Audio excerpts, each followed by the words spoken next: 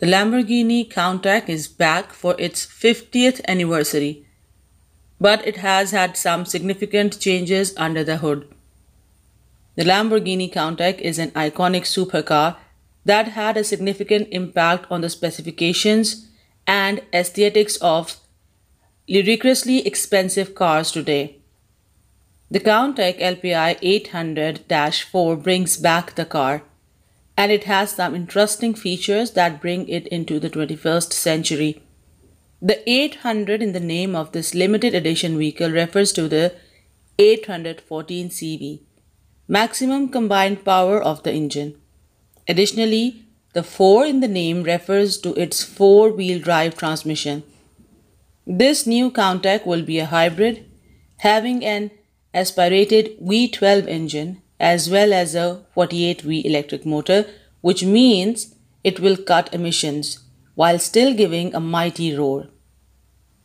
Lamborghini has noted that the thermal unit in the supercar will have an output of 780 CV, a metric unit of horsepower that the Verge translates to 574 kW, while the e-motor will generate 34 CV. As a result of these specifications, the car will be able to do 0 to 100 km per hour in a time of 2.8 seconds and reach 200 km per hour in just 8.6 seconds.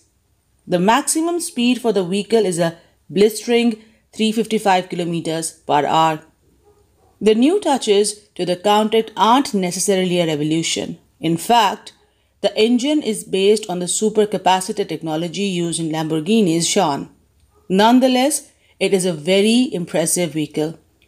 In a statement about the anniversary model, Lamborghini CEO Stephan Winkelmann said that it pays homage to its predecessors, but it is not retrospect